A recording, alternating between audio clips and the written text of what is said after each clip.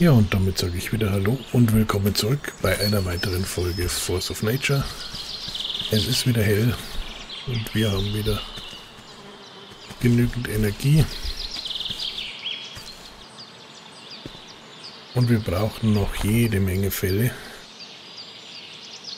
Ich denke aber, dass wir auf jeden Fall in der Zwischenzeit, äh, zwischendurch, äh, einen Stopp machen werden in der Basis.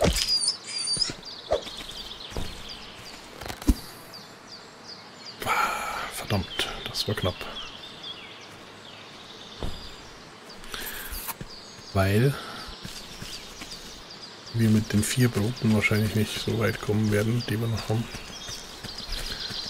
Da müsste man dann vielleicht auch mal zwischendurch einen Apfelkuchen oder sowas zuladen.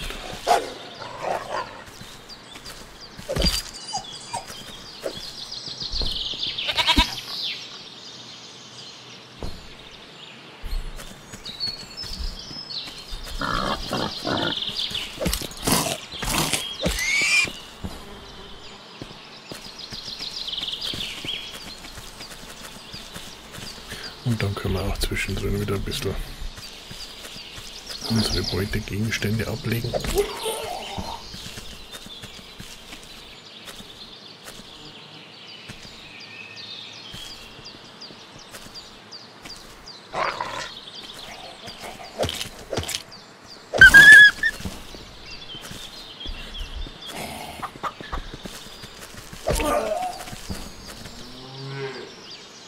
Um, ja, bis hierhin läuft es ja schon mal ganz gut. Da haben wir noch ein Füchslein.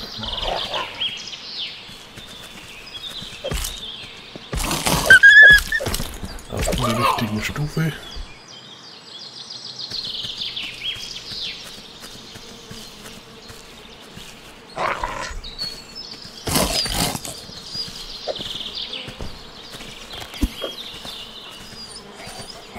So viel dazu. Wechsel mal kurz die Munition.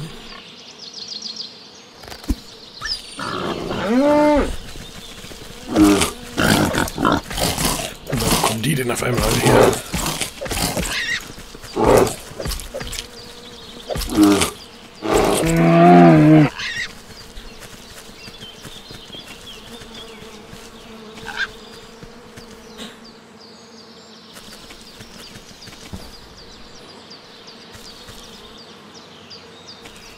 Da hinten hängt ein Schwein fest.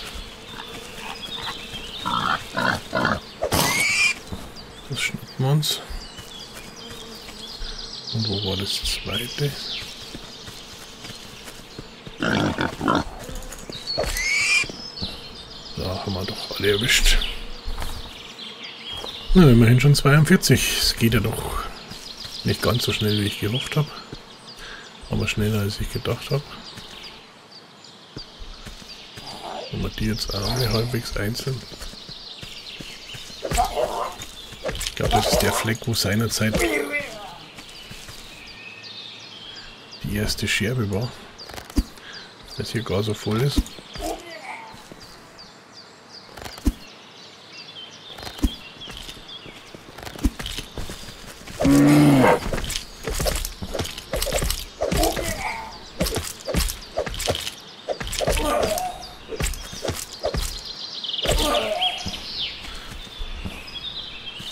Das könnte aber mit ein bisschen Glück bedeuten. Naja, dass wir halbwegs in der Nähe von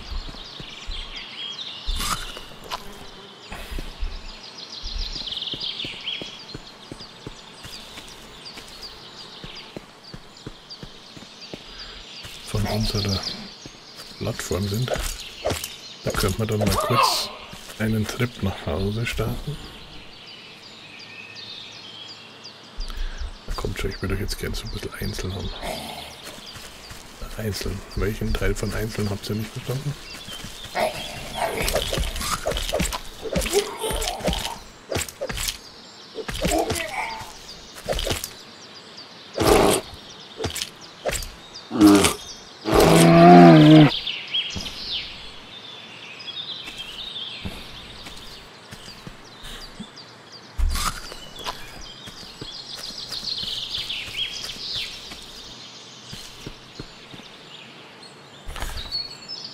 Mal schauen, ob wir da irgendwie durchkommen.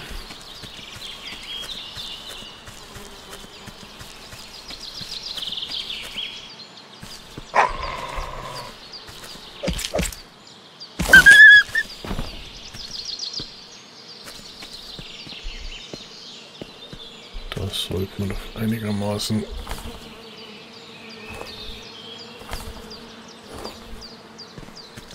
genau so ein bisschen in die Richtung.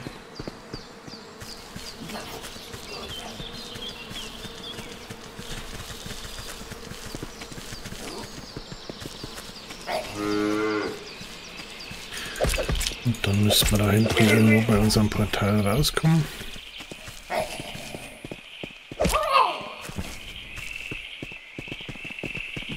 Können wir auch hier den Bären noch mitnehmen.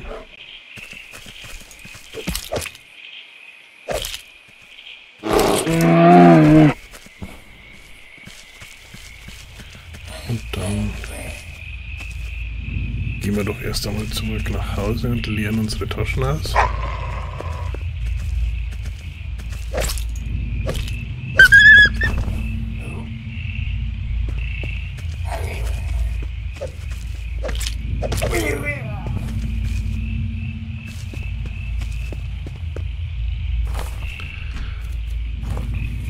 Schauen wir mal, was wir schon alles beieinander haben.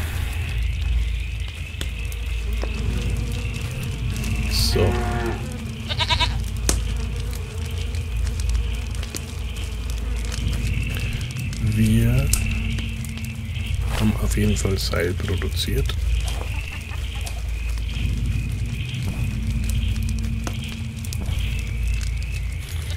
Und haben damit 170. Mal kurz auf meinen schlauen Zettel spicken. Wir brauchen 190, da müssen wir also noch ein bisschen was machen. Fell haben wir 77, da brauchen wir um die 175. Da müssen wir auch noch ein bisschen was machen. Aber jetzt schauen wir erst einmal, was wir hier tun können, solange wir da sind.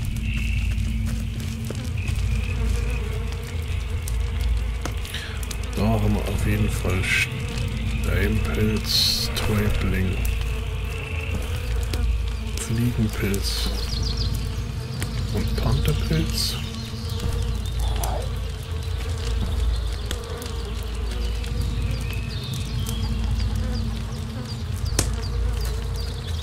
Wir haben hier auf alle Fälle auch noch Kokosnüsse, die hier rumliegen. Banane.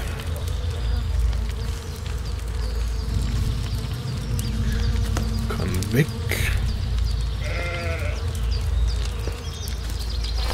Dann haben wir hier, ne, das war nicht die Kiste. Da haben wir die ganzen Knochen und Fangzähne und Krams drin.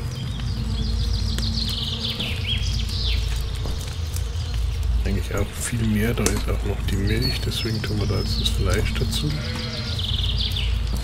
Ich hoffe, dass wir das dann nachher alles wieder so finden. Jetzt nicht besonders systematisch.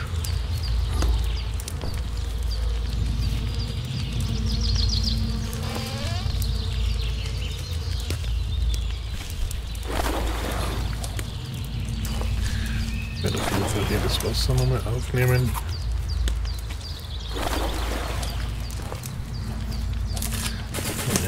Mal ab.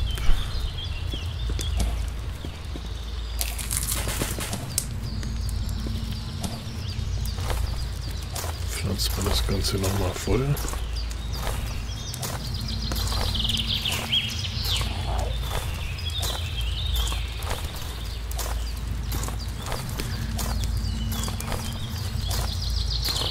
Dann schauen wir gleich mal nach unseren Schafen.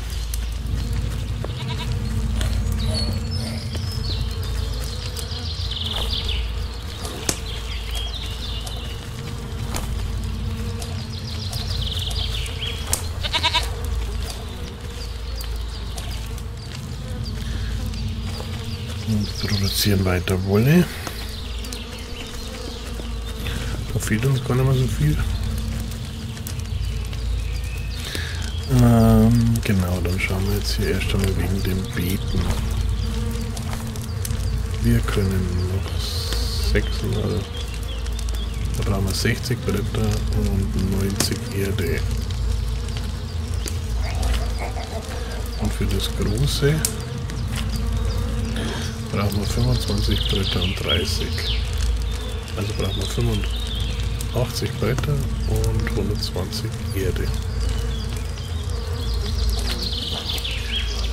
Das sollte man noch hinkriegen. Die Bretter, glaube ich, haben wir hier schon rumliegen. Und für die Erde muss mir nur noch einfallen, wo ich hier mein Schäufelchen hingelegt habe.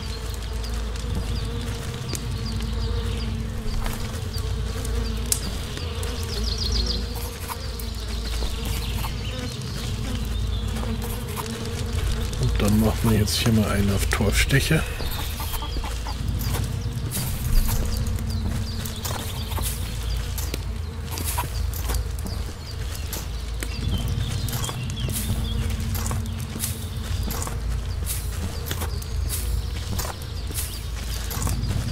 Schauen wir mal, wie weit das mal kommen. Bis die Ausdauer leer ist.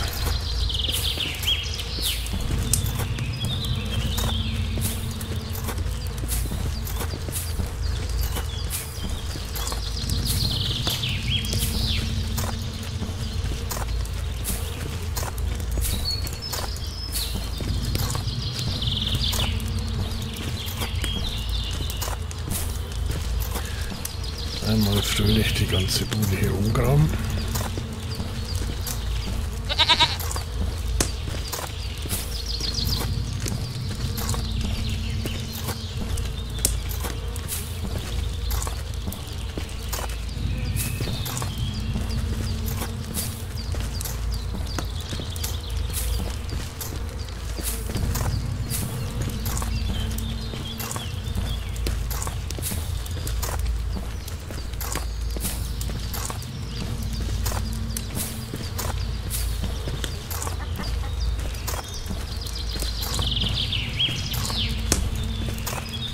So, wir schauen zwischen. Fazit ist ungefähr die Hälfte.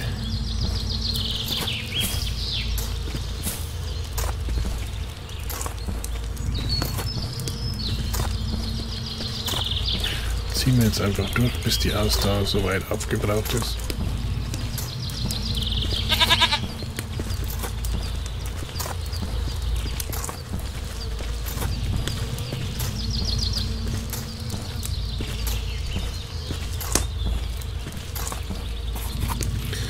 So. Das war's erstmal mit unserer Koalition.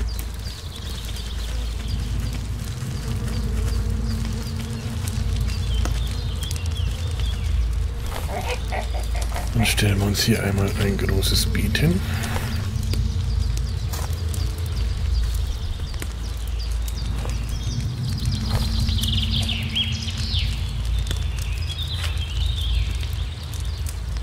Und dann können wir erst einmal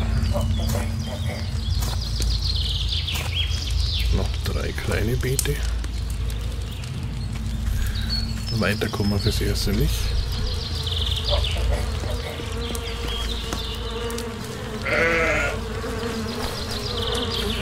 Aber wir können hier wieder Honig mitnehmen.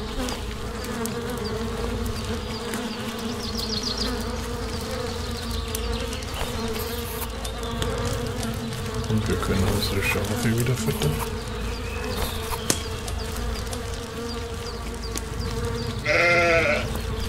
Damit haben wir dann eigentlich eh schon fast die ganze Wolle zusammen, die wir brauchen. Da ist der Apfelkuchen fertig.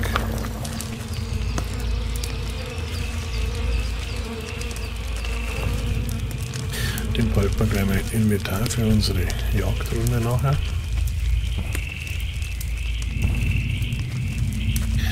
Wolle hat den aufgeschrieben, brauchen wir 105.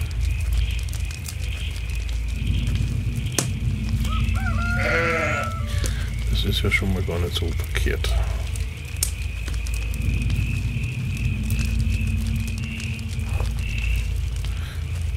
So. Dann haben wir auch fast schon wieder die Ausdauer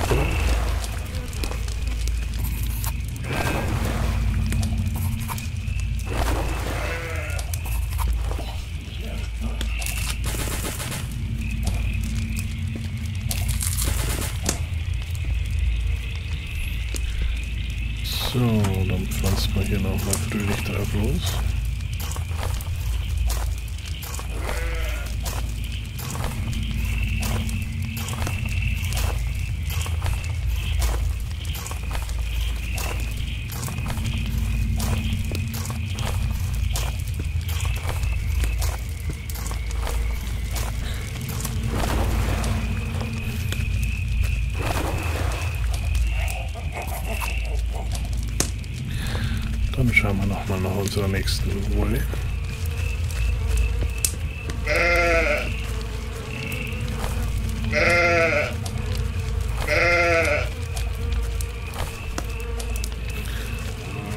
Füttern gleich nochmal an.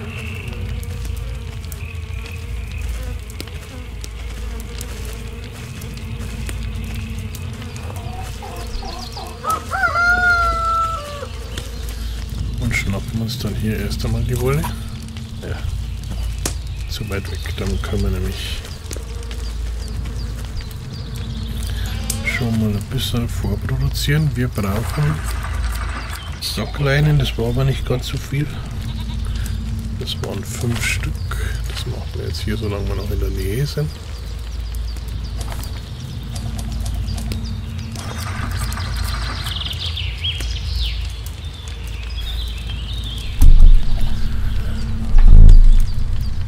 Und den Stoff macht man dann später, wenn wir wieder auf unsere nächste Jagdrunde gehen.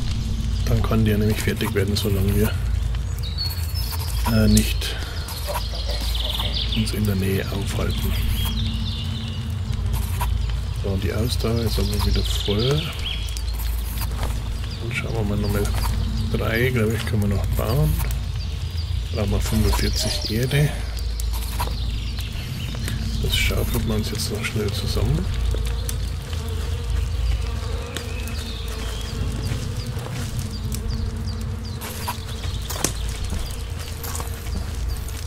Äh.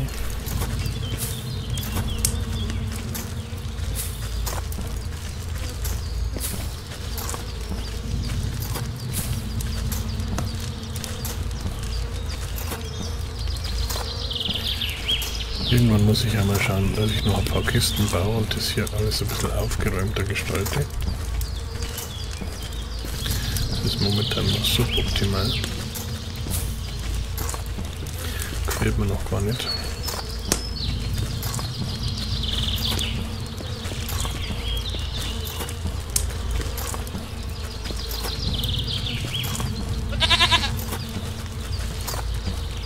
So, wie viel haben wir? 45. Knapp verzählt, aber was soll's. Dann schmeißen wir unsere Schaufel erst einmal wieder hier hin.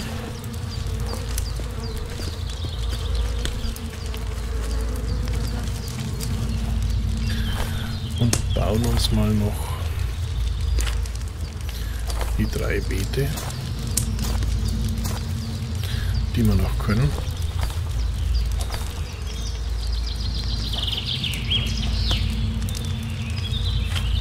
Ist eh erst einmal Schluss.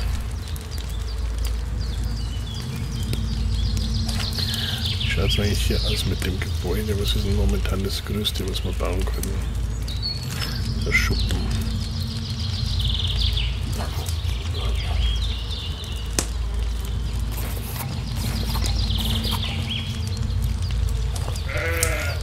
Frage, ob sich das lohnt.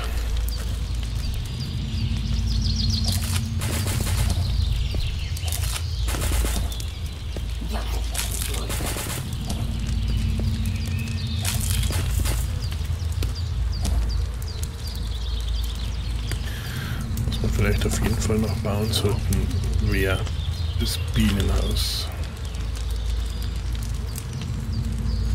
Dazu braucht man noch ein paar Bretter. 23 um genau zu sein. Ein paar Nägel.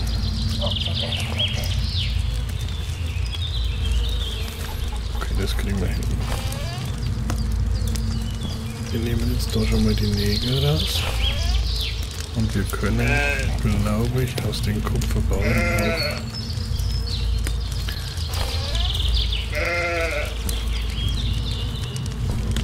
und dann machen wir auch noch die Pflanzen raus. So, dann schauen wir was wir hier noch rumliegen haben. Kohle, Kohle.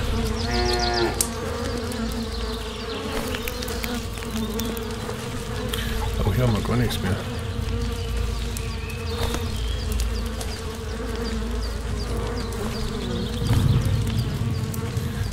Ähm.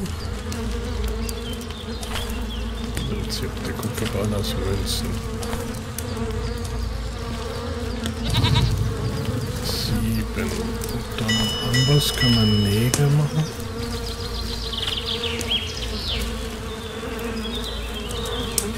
Und zwar 10 Nägel aus einem Kupferbahn. Also machen wir auf jeden Fall mal. Weiß ich nicht. Das.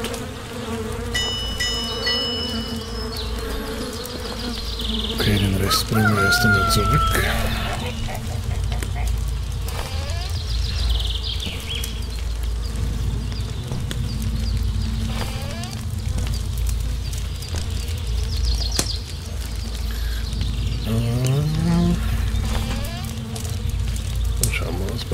für das Bienenhaus. Pfeilchen, Hortensien.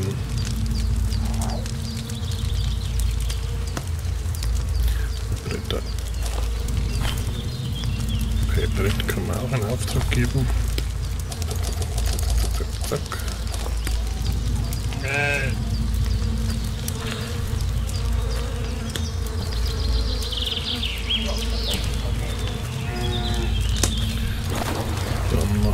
Runde Veilchen und eine Runde Hortensien.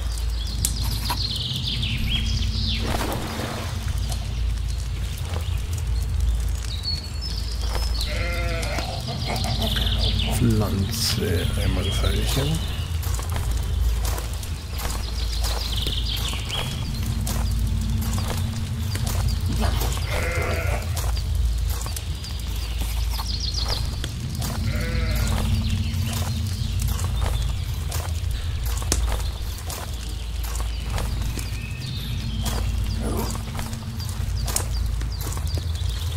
Und ich muss mir noch schnell ein Wasser holen.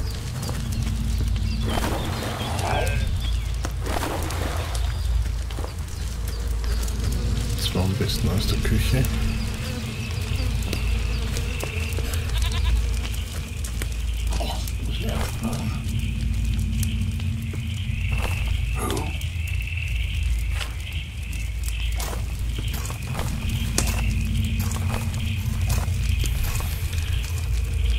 Damit haben wir nämlich dann schon mal wieder.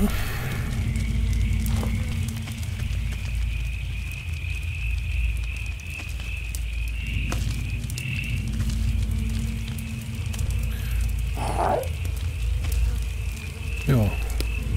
Und das soll es dann auch jetzt fürs Erste gewesen sein. Und bis der ganze Kram fertig ist. Damit wir dann ausbauen können. Wir jetzt einfach im Off und in der nächsten Folge geht es dann an unser Bauvorhaben. Bis dahin sage ich wie immer danke fürs Zuschauen und macht's gut. Bis dann. Ciao, ciao.